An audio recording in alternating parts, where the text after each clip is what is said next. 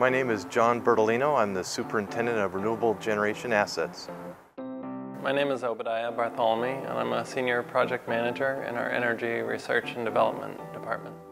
Boy, solar energy is pretty broad. Um, there are many forms of solar energy. I would define it as uh, any energy source that can be derived from the sun. The important thing to understand about solar energy is that there's an incredible amount of solar energy that's striking the earth every second of the day. That would include light, uh, heat, uh, and electricity as well. well. I think alternative energy is important um, at a very grassroots level.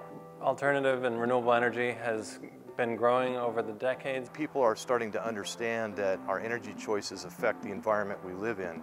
Um, and you're starting to see a lot of, in our case, our customers asking us to develop more alternative energy.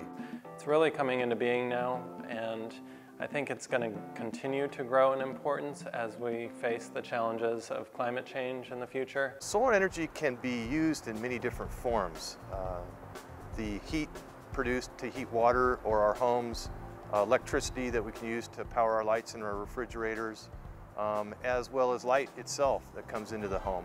It's a very low impact on the environment even relative to other forms of renewable energy that we usually think of as being low impact. But it truly is a scalable resource. It can power everything from tiny little electronics like your calculator or watches up to fields of solar that are really big power plants worth of solar. SMUD's been working on increasing the use of solar energy now for almost 30 years, starting back in the 1980s. We're doing quite a lot. We have several programs available for our customers. We've installed enough for about 5,000 homes in total on both homes and businesses over the last five years.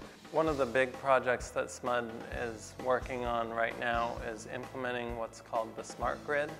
And that's really an attempt to bring intelligence and communications all the way down to the household level. Our Solar Smart Home program, uh, this is homes that are built with energy efficiency and solar energy installed.